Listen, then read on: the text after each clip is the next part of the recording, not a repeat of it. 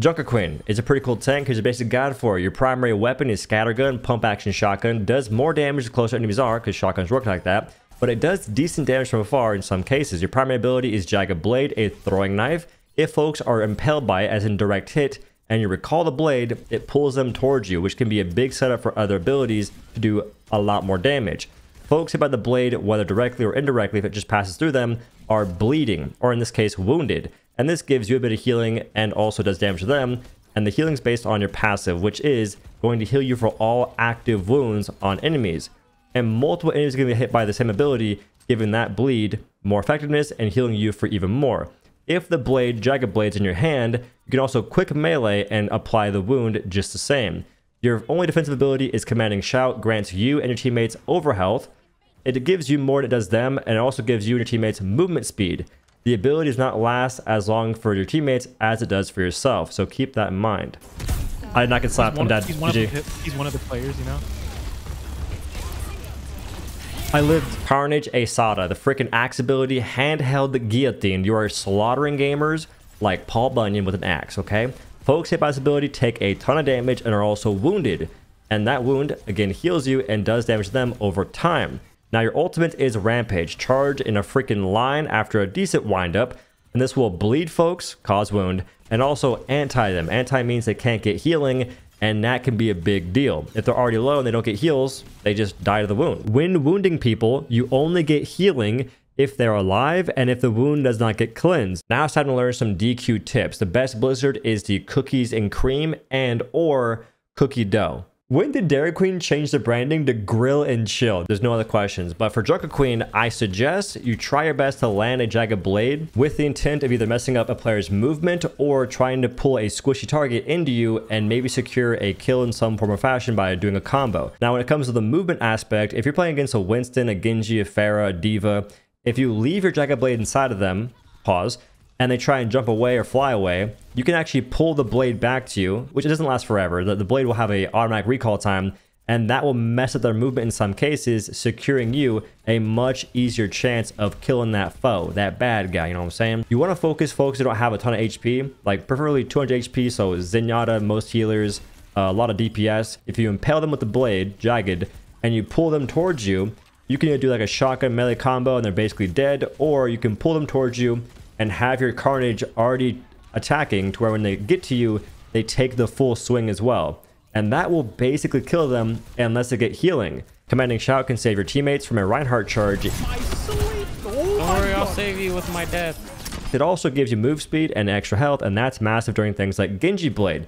Genji requires to get kills to get more value from his blade. More kills he gets, the more dash he sets, the better he can get around and be slashing and dashing more fools. When you have more move speed and extra health, it becomes much more difficult to get full value from Dragon Blade. And you can also use it if you're about to get shattered. You can just be aware of what's going to happen. You know he got, it, shatter. He got it on him. He acting like we haven't played Overwatch 1, bro. We know when you got it on. Carnage Asada, you can use this through shields, except for Zarya. So Reinhardt holding the shield, he's being all goofy, right? He's low, or just want to do more damage. You can actually axe him through the shield. And try your best to hit multiple targets with Carnage, the axe ability, because it will deal more damage, building ult faster, and also heal you for a bit more giving you a little bit more sustain if necessito. After playing JQ in ranked, I realized that she's pretty good on certain maps that have not super high high grounds because you can hit folks with a knife, pull them off, and then boom, they're basically a free kill. I've also realized I don't like playing her on defense. You can still do it and you can win games like that, but I think she's a much better offense character because her defense abilities it's like a 15 second cooldown. Aside from that, she gets self-healing, and the self-healing isn't that good. Roadhog self-healing dunks on her self-healing, and it's not even close. It's like a freaking, like a 500 like X increase. It's crazy. When using Rampage, JQ's ultimate, try best to hit as many squishy targets as possible. Focus around 200 HP. Take 100 damage from the ultimate and also have anti-applied them, making it to where you don't have to do much more damage for them to just keel over and die. Do not underestimate the value of your quick melee when you have your Jagged Blade in your hand. Applying the bleed just by meleeing is a massive benefit, does more damage, gives you a little bit of HP, and if you hit multiple enemies with it, which you can, that's again, more damage, more HP, more ultimate buildup, and you're just playing the character a bit more like you should. Be aware of enemy abilities when you're about to ult because your ultimate has a pretty long wind up. It's very visible, very transparent, telegraphed, easy to interrupt and cancel with things like Orisa Javelin Throw, Roadhog Hook, and a Sleep Dart, even Mei Ice Wall. Nah. Oh my god. Be aware of these abilities and their cooldowns during fights. Oh, Kiriko just used Protection Suzu. I can just go ahead and be free. I can use my ultimate and she won't get back in time to cleanse anything. That's like a 14 or 15 second CD. Once they cleanse, I ult. She cleanse. Oh. oh, oh, oh.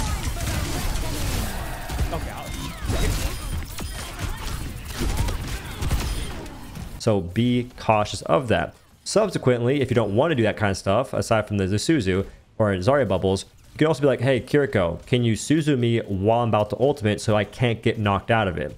That's also a pretty massive play right chair. The most detrimental ability is Suzu because it can cleanse the bleeds, it can cleanse the anti, and it can also just make it so you don't get hit by the ultimate at all in general and saves her the hassle of having to heal her teammates. But she can do that to just get ult charge if she wants to. Big mind games being played here. When it comes to matchups, I do not like playing against Reinhardt because of his shield, Sigma because of his shield, Orisa because she can just spear me. It's not a terrible matchup, but Orisa's pretty tanky. Roadhog is very good versus Drucker Queen. You hook her one time, blast her, and she's not dead, but she's close to it. You can pop Roadhog ultimate during her ult if she's about to cast it and knock her back the whole time. She's gonna go nowhere. How does that hit me, dude? What? You don't get a whole lot of value playing Drucker Queen in a Roadhog unless you're just simply better. You can still win that matchup, but it's just rough. And he's also hard to kill because he has so much HP and he has a self heal. Zarya, she can bubble my freaking bleeds, bubble the anti for my ultimate. She counters me pretty hard.